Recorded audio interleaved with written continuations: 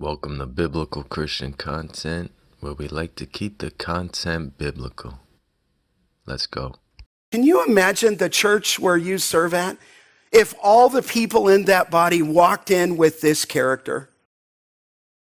I have to petition everyone that's watching this video.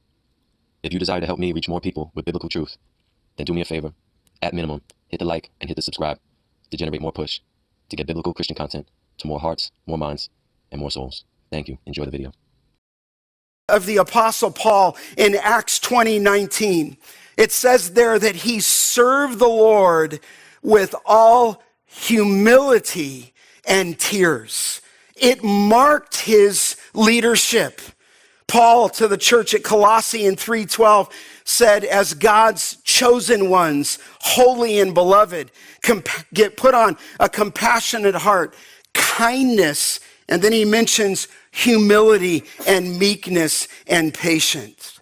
This is a significant word. And for the church to be in unity, you've got to have people in there who think not more highly of himself, but walk in that. Can you imagine the church where you serve at?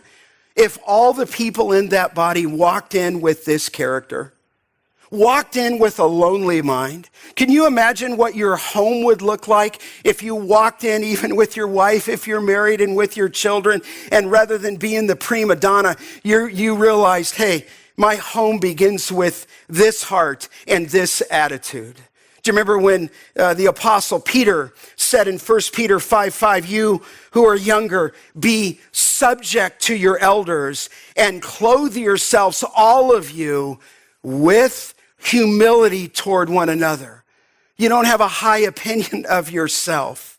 You have a low opinion, a low estimation. You're stunned, as our brother said, by the grace of God, and you're energized by this, by the power that the Lord supplies.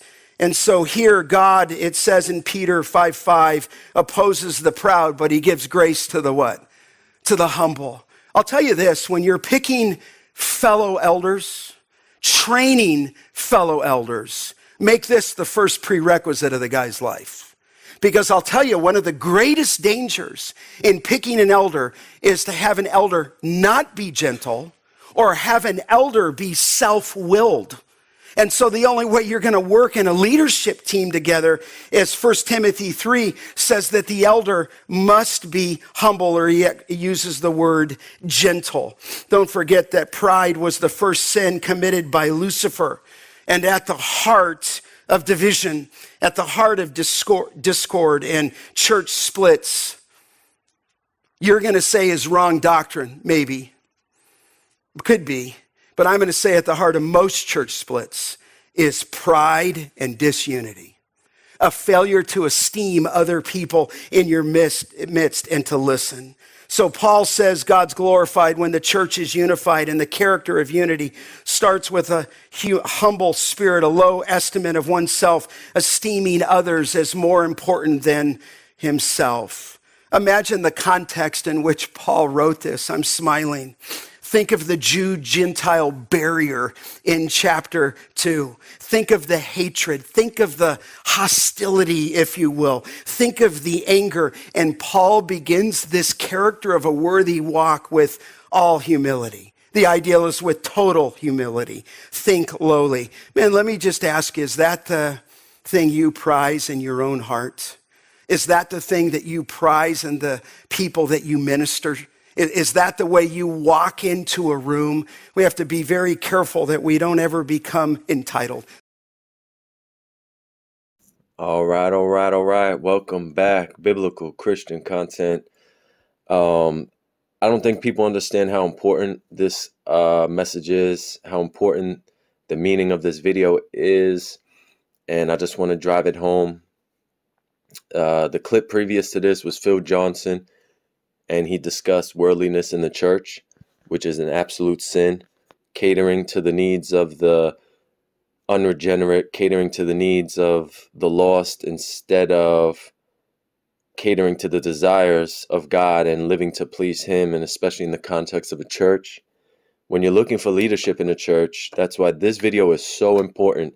And I can speak from my own personal um, situations that I've been in And in the video with Phil Johnson, I reference that I came out of a church that acquired new leadership when the former head pastor uh, had moved on to take on a different role in life.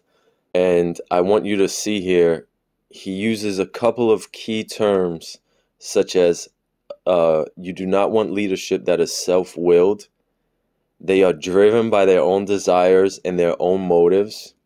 Not only that, I can speak from experience.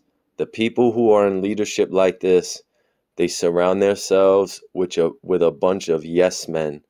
They form their own little clique, and often those are the people who appoint their salary, uh, who make decisions um, in the church. So, eldership in general, but I'm talking eldership in general, from the pastor all the way down, whatever lead roles or key roles there are in a local church and congregation in order to maintain order, they should 100% not be self willed.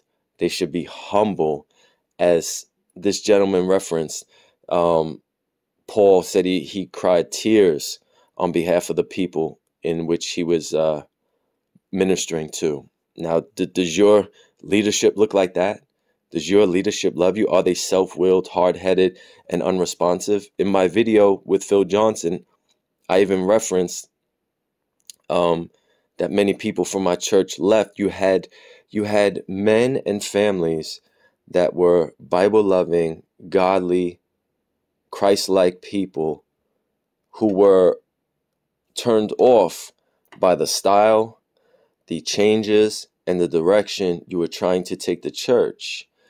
And it wasn't just a matter of preferences, it was a matter of integrity to to please the Lord, number 1. And number 2, when you're unwilling to hear what the godly God surrounds you with godly people in a congregation and you're so self-driven that you don't even you every critique, every suggestion falls on deaf ears and you run you you you want to, you know, you want to drive the car in the direction you want to go only and then you surround your people yourself with people who will um, okay that and and allow you to press on and you remove people. There's been people that were removed and forced to step down or because they wouldn't see eye to eye and it kind of wasn't tolerated. That is disgusting. Think about the i don't want to judge anyone's pride or heart but if that's the case God hates pride, and you're operating in pride. So, as far as my other church is concerned, I pray that they would repent. I pray leadership would repent. They really need, they really, I don't even think it dawns on them that they need to examine themselves. But again, I guess that's how deceptive pride can be. I pray that I would maintain a heart of humility. I pray that I would examine myself. I pray that I would walk worthy of whatever calling God has in my life. Um, in the church and outside of the church gathering and and that's that. I just this is the heart. This is the heart that every leader should have in the church not just the pastor but other leaders as well. You should have a love for the people love for the flock of christ love for the word of god and love to honor god in all decisions that you make. We're not perfect but to be as he said self driven, and also unwilling to listen. That is scary, especially when it's coming from well meaning, Christ centered, scripture scripturally grounded individuals in your church that want the best for you and the people in the church. So, like, share, comment, subscribe. Stay tuned. More biblical Christian content. God bless.